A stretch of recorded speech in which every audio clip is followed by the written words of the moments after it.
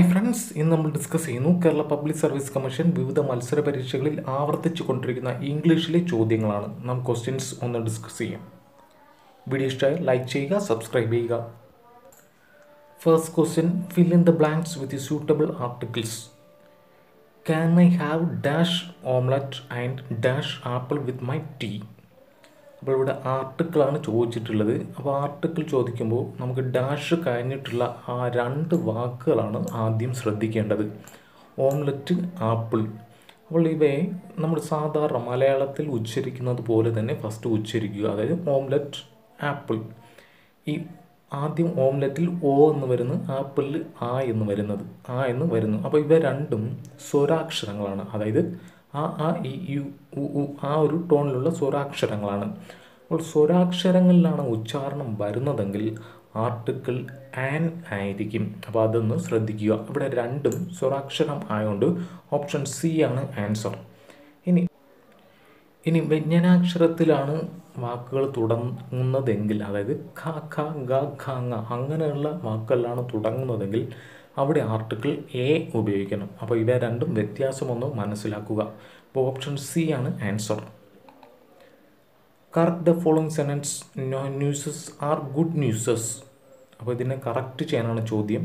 വേറെ ഒന്നുമില്ല ന്യൂസ് അതെന്ന് പറയുന്നത് ഒരു എപ്പോഴും സിംഗുലർ വേർഡാണ് അപ്പോൾ അതും ശ്രദ്ധിക്കുക. അപ്പോൾ ഓപ്ഷൻ എ ആണ് answer no news is good news അപ്പോൾ ന്യൂസ് എന്നത് സിംഗുലാർ വേർഡാണ് ആ ശ്രദ്ധിക്കുക. അപ്പോൾ സിംഗുലാർ വേർഡ് ആയതുകൊണ്ട് ഈസ് ആണ് വരുന്നത്. അപ്പോൾ അതും ഒന്ന് ശ്രദ്ധിക്കുക. ഓപ്ഷൻ എ ആണ് answer the masculine gender of duck is drake അപ്പോൾ ഡക്ക് എന്നത് പെൺതാറാവും.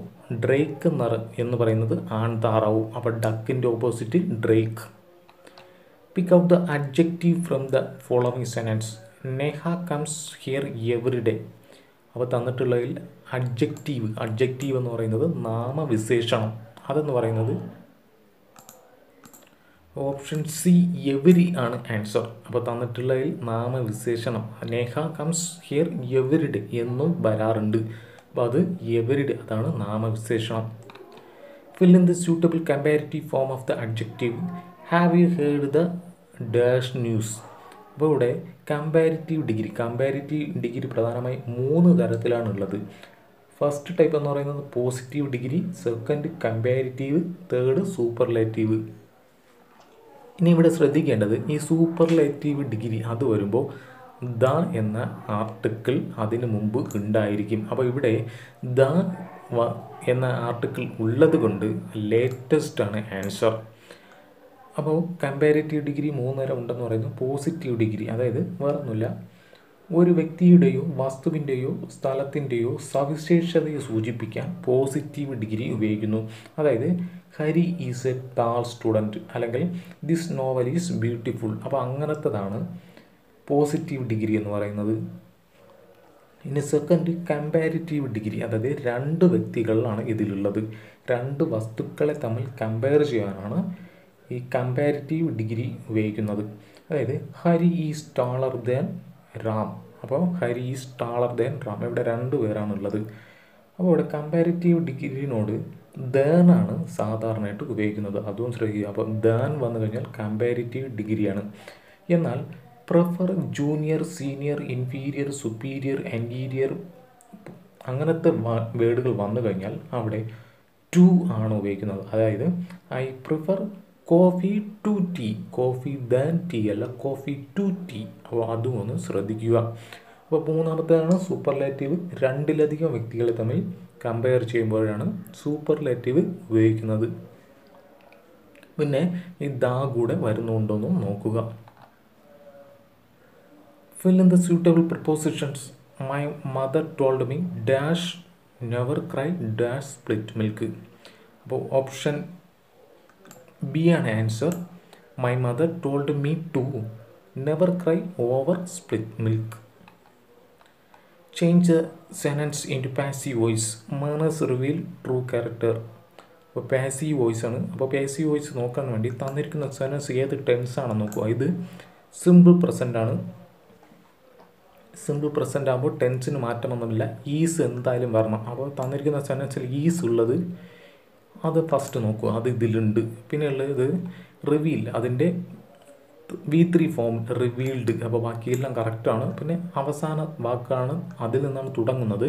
അപ്പോൾ true characters is revealed by manners option A ആണ് ആൻസർ അപ്പോൾ ആക്റ്റീവും പാസീവും തന്നു തരുമ്പോൾ അതിന്റെ ടെൻസിന് മാറ്റമില്ല എന്ന് ശ്രദ്ധിക്കുക. എന്നാൽ റിപ്പോർട്ടർ സ്പീച്ച് എഴുതുമ്പോൾ അതിന്റെ ടെൻസിന് മാറ്റമുണ്ട്. അതൊന്ന് ശ്രദ്ധിക്കുക. രണ്ടും തിരിഞ്ഞു പോകരുത്. Replace the underlined phrases with one word I did not expect such a childish talk from a grow up man അപ്പോൾ ചൈൽഡിഷ് ടാൽക്ക് അതിന്റെ ഫ്രേസർ വേർഡാണ് ചോദിച്ചിട്ടുള്ളത്. പ്രാറ്റിലാണ് ആൻസർ അപ്പോൾ ചൈൽഡിഷ് ടാൽക്ക് എന്ന് പറയുന്നത് prattle fill in the blanks with a suitable idiom the policeman came to my house and accused me of stealing a necklace but i told them that they were barking up the wrong tree. അപ്പോൾ ഇതിന് തന്നിരിക്കുന്ന സെന്റൻസിന് suitable ആയിട്ട് ഇഡിയമാണ് ചോദിച്ചിട്ടുള്ളത്. അപ്പോൾ the police man came to my house and accused me of stealing a necklace but I told them that they were barking up the wrong tree Fill in the blank space with a suitable word. The global positioning system GPS help to us navigate. അപ്പോൾ navigation ഉപയോഗിക്കുന്നതാണ് G P S would you mind dash this letter അപ്പോൾ would you mind വന്നു കഴിഞ്ഞാൽ gerund ഫോമാണ് സാധാരണ ഉപയോഗിക്കുന്നത്. അപ്പോൾ gerund എന്ന് പറഞ്ഞാൽ ഐ എൻ ജി ഫോം അപ്പോൾ തന്നിട്ടുള്ളതിൽ പോസ്റ്റിംഗ് അപ്പോൾ would you mind posting this letter I wish it was in training means I wish it was in training. അതായത് ഇപ്പോൾ മഴ നടക്കുവാണ്. അപ്പോൾ അതിന്റെ അർത്ഥം it is raining the market is at dash end of the city farthest ആണ് അപ്പോൾ market is dash is at the dash end of the city farthest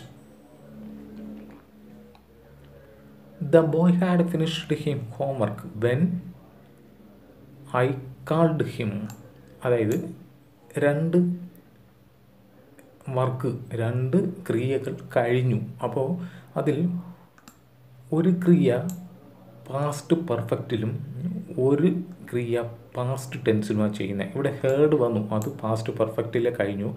ഇനിയുള്ളത് പാസ്റ്റ് ടെൻസ് കാൾഡ് അപ്പോൾ കഴിഞ്ഞ രണ്ട് കാര്യങ്ങൾ സൂചിപ്പിക്കാൻ ഒന്ന് പാസ്റ്റ് പെർഫെക്റ്റിലും ഒന്ന് പാസ്റ്റിലുമാണ് ഉപയോഗിക്കുന്നത്. ഇവിടെ പാസ്റ്റ് പെർഫെക്റ്റ് വന്നതുകൊണ്ട് തീർച്ചയായും അടുത്തുള്ളത് past ടെൻസിലായിരിക്കും I called him option A ആണ് answer she lives in Mumbai question ടാഗാണ് ചോദിച്ചിട്ടത് ഓപ്ഷൻ ബി ഡസൻ ഷീ അതായത് ഷീ ലീവ്സ് ഇൻ മുംബൈ ഇവിടെ ഷീ ലീവ്സ് അതിൽ ഡസ് ഉണ്ട്. അതാണ് അതിന്റെ ഓക്സിലറി വെർബ് എന്ന് പറയുന്നത്. അപ്പോൾ ഡസ് അപ്പോൾ അതിന്റെ ഇത് സെനൻസ് പോസിറ്റീവാണ് അപ്പോൾ ക്വസ്റ്റ്യൻ ടാഗ് അപ്പോൾ നെഗറ്റീവ് ആയിരിക്കണം. അതുകൊണ്ട് doesn't she you can telephone me dash you like whenever you like എപ്പോഴാണ് ഇഷ്ടപ്പെടുന്നത്? ആ സമയത്ത് ടെലിഫോൺ വിളിക്കാം. അതായത് you can telephone me whenever you like if my father were there dash അപ്പോൾ ഇഫ് ക്ലോസ് ആണ് ഓപ്ഷൻ സി ആണ് answer he would help you അപ്പോൾ ഇഫ് ക്ലോസിൽ സിമ്പിൾ പ്രസന്റ് ഉണ്ട് സിമ്പിൾ പാസ്റ്റ് ഉണ്ട് പാസ്റ്റ് പെർഫെക്റ്റ് ഉണ്ട്. ഈ മൂന്ന് കണ്ടീഷൻസുമാണ് ഇഫ് ക്ലോസിലുള്ളത് അതിന്റെ മെയിൻ ക്ലോസ് എങ്ങനെ വരുമെന്ന് ആദ്യം നമ്മളൊന്ന് പഠിക്കണം. അപ്പോൾ ഇവിടെ തന്നിരിക്കുന്നത് ഇഫ് ക്ലോസിലെ മൈ ഫാദർ വെയർ അതായത് ഇത് സിമ്പിൾ പാസ്റ്റ് ആണ്. വെയർ വന്നു പാസ്റ്റ് അപ്പോൾ അങ്ങനെ ഒരു കണ്ടീഷൻ ആണെങ്കിൽ അതിന്റെ മെയിൻ ക്ലോസ് എപ്പോഴും would should could might plus V one form ആയിരിക്കും. അപ്പോൾ ഇവിടെ വുഡ് വന്നിട്ടുള്ളത് ഇതാണ്. അത് പ്ലസ് വി വൺ ഹെൽപ്പ് അപ്പോൾ അതാണ് അതിന്റെ ആൻസർ ഇനി simple present if clause simple present ആണെങ്കിൽ അതായത് if my father is there അപ്പോൾ അത് സിമ്പിൾ ആണ്. അങ്ങനെയെങ്കിൽ അതിന്റെ മെയിൻ ക്ലോസ് എപ്പോഴും will shall can may plus V one form ആയിരിക്കും.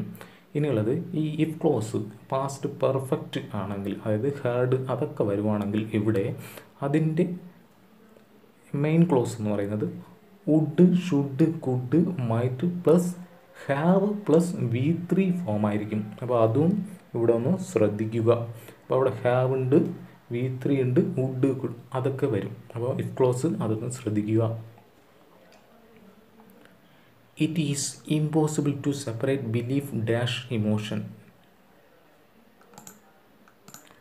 option D ആണ് ആൻസർ ഫ്രം അപ്പോൾ it is impossible to separate belief from emotion I appreciate her dash in her studies option C regularity in her studies the opposite of extravagance is intravagance അപ്പോൾ extra ബജൻസ് ഇൻട്രാബജൻസ് ആ ഒരു ടോണിൽ തന്നെയുണ്ട് ധാരാളിത്വം മിതത്വം. അപ്പോൾ ഇത്രയുമാണ് ഇരുപത് ഇംഗ്ലീഷ് ക്വസ്റ്റ്യൻസ് അപ്പോൾ ഈ ഒരു സെയിം പാറ്റേണിൽ ഉള്ള ക്വസ്റ്റ്യൻസ് എല്ലാം കളക്ട് ചെയ്ത് പഠിക്കുക. അപ്പോൾ വീണ്ടും അടുത്തൊരു വീഡിയോയിൽ കാണുമ്പോഴേക്കും താങ്ക്